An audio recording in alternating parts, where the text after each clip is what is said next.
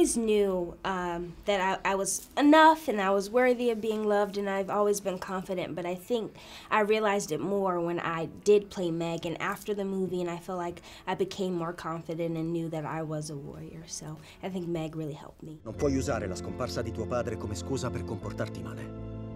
Non tornerà più, vero? Devi sperare sempre.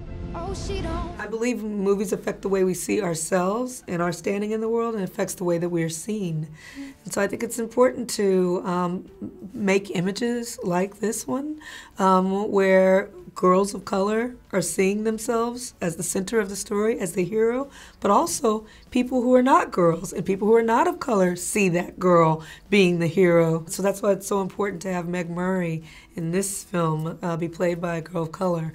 It opens up our imagination as to who can do what in our society, and that's what we need. Chi siete? Siamo in cerca di guerrieri. Tuo padre ha realizzato qualcosa di straordinario, ma potrebbe essere in pericolo.